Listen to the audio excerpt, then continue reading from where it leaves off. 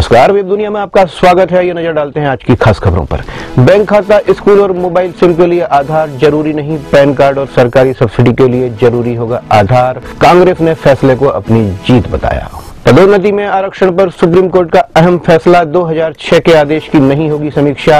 राज्य सरकारें चाहें तो दे सकती हैं प्रमोशन में आरक्षण। चीनी मिलों के लिए 5,538 करोड़ रुपए के पैकेज को सरकार ने दी मंजूरी। राष्ट्रीय डिजिटल संचार नीति और नई दूरसंचार नीति 2018 को मंत्रिमंडल की मंजूरी। अदालती सुनवाई के सीधे प्रसारण की अनुमति शुरुआत सुप्रीम कोर्ट से होगी जल्द बनेंगे कायदे कानून। उत्तरी दिल्ली के अशोक विहार में तीन मंजिला इमारत गिरी, हादसे में दो बच्चों की मौत। कांग्रेस अध्यक्ष राहुल गांधी ने साधा, पीएम मोदी पर निशाना, राफेल का ठेका, अकुशल व्यक्ति को देना स्किल इंडिया है। गुजरात के दलित नेता जिग्नेश मेवाणी की चंद्रशेखर रावण से मुलाकात, कहा नहीं होने देंगे दलित वोटों का बंटवारा।